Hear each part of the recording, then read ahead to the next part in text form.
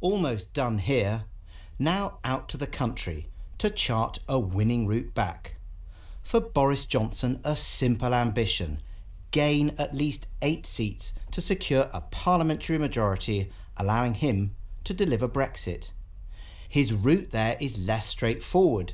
The Tories need to hold on in areas where support has been looking shaky and then make major inroads in Labour Leave seats in the Midlands, north of England, and Wales.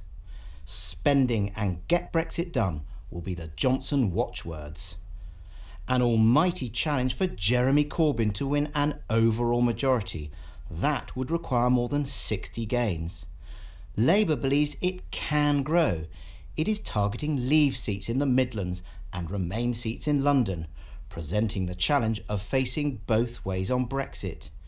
Your choice on Brexit, with another referendum and a real end to austerity, will be the Corbyn watchwords. A long haul for Labour, so maybe help will be needed from the SNP and the Lib Dems, whose best hopes are to become kingmakers. The SNP aims to recover ground lost in 2017. The Lib Dems have high hopes in London and the southwest of England.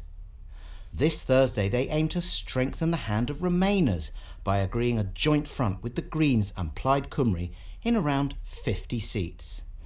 A three party Remain alliance is a step in the right direction for Remain leaning parties, but they need Labour to be on board as well. Splitting the Remain vote between Labour and all the other parties combined still splits the vote substantially. And so the question about how people will vote in individual constituencies, given that choice, could prove problematic for Labour, the Lib Dems, and could let the Conservatives in in certain circumstances.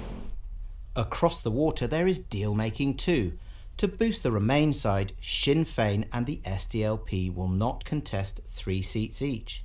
To maximise the Unionist vote, the Ulster Unionists will not be contesting North Belfast, while the Democratic Unionists will not stand in Fermanagh and South Tyrone. And a message for the whole UK don't make any assumptions about this election. This one is extraordinarily hard to predict, or even to say anything very sensible at this point. Partly, of course, we haven't seen the manifestos, and that does help to sharpen minds. But we've also got, you know, two um, or three parties with the Lib Dems, the Brexit Party, and the SNP, all ma- making inroads into the two main parties. And so you've got much more of a contest, and in some of the marginal seats, this really could have quite an impact. And this is what is making it difficult for everyone not just the, uh, uh, the people who spend their, the whole of their working days doing this, to predict.